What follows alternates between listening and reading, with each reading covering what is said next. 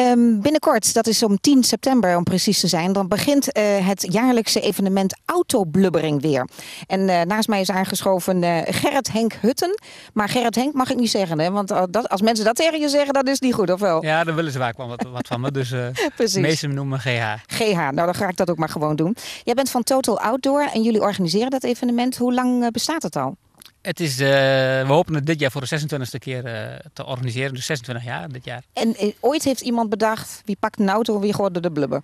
Ja, het is ooit in Amerika bedacht. En, hm. en een local, een plaatselijke bewoner heeft er ooit een keer gezien. Die is toen mee naar, naar een ja, plaatselijk belang heen gegaan, waar dat toen de tijd een beetje was. En die heeft hm. gezegd van, goh, dan gaan we ook een race doen. En zo is het in Nederland geboren. Ja, maar waar gaat het dan eigenlijk om? Uh, wie zo smerig mogelijk wordt? Of, uh, nee, de bedoeling is heel simpel. Je hebt een, een aanloop van 50 meter, je hebt een modderbak van 50 meter en een uitloop van 50 meter. En de bedoeling is dat je uh, door de modderbak heen komt. En aan het eind van de dag is, onze taak om alle auto's te stoppen in de modder. Dus in principe moet, moeten we gewoon de auto stoppen. Ja, en het is een evenement voor zowel mannen als vrouwen? Ja, ja, ja.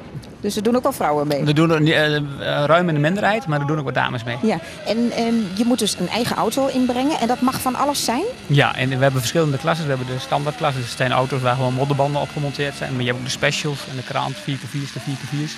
Dus in verschillende Wat categorieën. Wat allemaal? De, de 4x4, dat is gewoon oh. een, een, een, auto met vier wielaandrijving. Ah, de, de krant 4x4, daar staat een V8 motor. En die ja, zijn auto's van, van 700, 800 pk die meedoen. Ja, en, maar dat zijn allemaal eigenlijk uh, sloopauto's, toch? Ik nee, bedoel... nee, dat was uh, 20 jaar geleden wel zo. Maar hm. nu zijn jongens die zijn gewoon het hele jaar door aan het bouwen aan een auto om maar er zijn verschillende blubberingen in, in, in deze omgeving. En ja. uh, die zijn het hele jaar aan het bouwen. En het is geen hobby meer. Het is gewoon bij, voor sommige jongens bijna een leefwijze om die auto maar zo Echt goed mogelijk te prepareren. Ja, en, en gaat het ook nog om snelheid?